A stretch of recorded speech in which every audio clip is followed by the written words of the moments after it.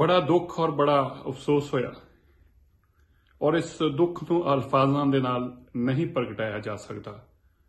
ਦੀਪ ਸਿੱਧੂ ਜੋ ਕਿ ਸਾਡੇ ਪੰਜਾਬ ਦੀ ਇੱਕ ਨੌਜਵਾਨੀ ਦੀ ਸੋਚ ਸੀ, ਪੰਜਾਬ ਦੇ ਅੰਦਰ ਇੱਕ ਬਦਲਾਵ ਦੀ ਸੋਚ ਸੀ, ਉਹਦੇ ਢੰਗ ਕਿਸੇ ਨੂੰ ਪਸੰਦ ਆਏ ਹੋਣ, ਉਹਦੇ ਕੰਮ ਕਰਨ ਦੇ ਤਰੀਕੇ ਕਿਸੇ ਨੂੰ ਪਸੰਦ ਆਏ ਹੋਣ, ਨਾ ਆਏ ਹੋਣ। ਪਰ ਇੱਕ ਗੱਲ ਹਰੇਕ ਨੂੰ ਮੰਨਣੀ ਪਊਗੀ ਕਿ ਦੀਪ ਸਿੱਧੂ ਦੇ ਮਨ ਦੇ ਅੰਦਰ ਪੰਜਾਬ ਵਾਸਤੇ ਦਰਦ ਸੀ, ਪੀੜ ਸੀ। ਔਰ ਉਸ ਪੀੜ, ਉਸ ਦਰਦ ਨੂੰ ਲੈ ਕੇ ਉਹ ਹਮੇਸ਼ਾ ਆਪਣੇ ਆਪ ਨੂੰ ਬੋਲਦਾ ਸੀ ਔਰ ਆਪਣੀ ਗੱਲ ਰੱਖਦਾ ਸੀ। ਅੱਜ ਸਾਡੇ ਕੋਲ ਇੱਕ ਨੌਜਵਾਨ ਸੋਚ, ਇੱਕ ਨੌਜਵਾਨ ਆਵਾਜ਼ ਨਹੀਂ ਰਹੀ। ਮੈਨੂੰ ਬਹੁਤ ਦੁੱਖ ਆ।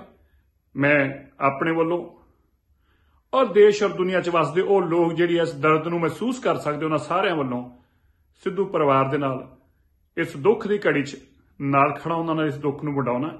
ਔਰ ਮੈਂ ਇੱਕ ਅਫਸੋਸ ਨਾਲ ਇਹ ਵੀ ਗੱਲ ਕਹਿਣਾ ਚਾਹੁੰਦਾ ਮੈਨੂੰ ਹੁਣੇ ਇੱਕ ਟੀਵੀ ਚੈਨਲ ਨੇ ਸਵਾਲ ਪੁੱਛਿਆ, ਦੱਸਿਆ ਕਿ ਕਿਸਾਨ ਜਥੇਬੰਦੀਆਂ ਨੇ ਪਹਿਲਾਂ ਟਵੀਟ ਕੀਤਾ, ਫਿਰ ਡਿਲੀਟ ਕਰ ਦਿੱਤਾ ਕਿਸ ਤਰ੍ਹਾਂ ਤੇ ਅਸੀਂ ਆ ਕੇ ਖੜੇ ਹੋ ਗਏ ਹਾਂ? ਇਸ ਤੋਂ ਨੀਵਾ ਨਹੀਂ ਹੁਣ ਡਿੱਗਿਆ ਜਾ ਸਕਦਾ। ਯਾਰ ਜੀਂਦਿਆਂ ਦੇ ਨਾਲ ਵੀ ਦੁਸ਼ਮਣੀਆਂ ਤੇ ਮਰਨ ਵਾਲਿਆਂ ਨਾਲ ਵੀ ਦੁਸ਼ਮਣੀਆਂ। ਕਿਆ ਦੁੱਖ ਹੈ ਯਾਰ, ਉਸ ਇਨਸਾਨ ਨੇ ਜੇਲ੍ਹ ਕੱਟੀ ਆ ਯਾਰ ਤੁਹਾਡੇ ਪਿੱਛੇ। ਉਹ ਇਨਸਾਨ ਜੇਲ੍ਹ ਦੇ ਅੰਦਰ ਰਿਹਾ, ਮੈਂ ਉਹਦੇ ਮੈਂ ਉਹਨੂੰ ਨਿੱਜੀ ਤੌਰ ਤੇ ਮਿਲਿਆ ਯਾਰ। ਆਪਾਂ ਏਡੇ ਛੋਟੇ ਹੋ ਗਏ ਆ ਇਹ ਪੰਜਾਬ ਦੀ ਸੋਚ ਨਹੀਂ ਸੀ, ਇਹ ਸਿੱਖ ਦੀ ਸੋਚ ਨਹੀਂ ਸੀ। ਮੈਨੂੰ ਲੱਗਦਾ ਏ ਕਿ ਅਸੀਂ ਕਿਸੇ ਗਲਤ ਰਾਏ ਪੈ ਗਏ ਹਾਂ ਔਰ ਸਾਡੇ ਪਿੱਛੇ ਕੋਈ ਗਲਤ ਸੋਚ ਸਾਨੂੰ ਖਰਾਬ ਕਰਦੀ ਪਈ ਆ, ਵਰਨਾ ਦੀਪ ਸਿੱਧੂ ਦਾ ਆਪਾਂ ਕੰਡੋਲੈਂਸ ਮੈਸੇਜ ਵੀ ਡਿਲੀਟ ਕਰ ਦਈਏ, ਇਸ ਤੋਂ ਵੱਡੀ ਸ਼ਰਮ ਦੀ ਗੱਲ ਨਹੀਂ ਹੋ ਸਕਦੀ। ਮੈਨੂੰ ਬਹੁਤ ਦੁੱਖ ਆ, ਬਹੁਤ ਅਫਸੋਸ ਆ ਔਰ ਮੈਂ ਉਹਦੇ ਪਰਿਵਾਰ ਨੇ ਇਸ ਦੁੱਖ ਦੀ ਘੜੀ 'ਚ ਖੜਾ ਹੈ ਬੜਾ ਦੁੱਖ ਔਰ ਬੜਾ ਅਫਸੋਸ ਹੋਇਆ। ਔਰ ਇਸ ਦੁੱਖ ਨੂੰ ਅਲਫਾਜ਼ਾਂ ਦੇ ਨਾਲ ਨਹੀਂ ਪ੍ਰਗਟਾਇਆ ਜਾ ਸਕਦਾ। ਦੀਪ ਸਿੱਧੂ, ਜੋ ਕਿ ਸਾਡੇ ਪੰਜਾਬ ਦੀ ਇੱਕ ਨੌਜਵਾਨੀ ਦੀ ਸੋਚ ਸੀ, ਪੰਜਾਬ ਦੇ ਅੰਦਰ ਇੱਕ ਬਦਲਾਵ ਦੀ ਸੋਚ ਸੀ, ਉਹਦੇ ਢੰਗ ਕਿਸੇ ਨੂੰ ਪਸੰਦ ਆਏ ਹੋਣ, ਉਹਦੇ ਕੰਮ ਕਰਨ ਦੇ ਤਰੀਕੇ ਕਿਸੇ ਨੂੰ ਪਸੰਦ ਆਏ ਹੋਣ, ਨਾ ਆਏ ਹੋਣ।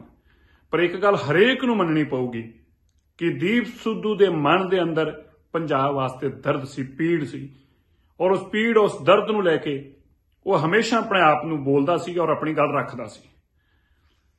ਅੱਜ ਸਾਡੇ ਕੋਲ ਇੱਕ ਨੌਜਵਾਨ ਸੋਚ, ਇੱਕ ਨੌਜਵਾਨ ਆਵਾਜ਼ ਨਹੀਂ ਰਹੀ।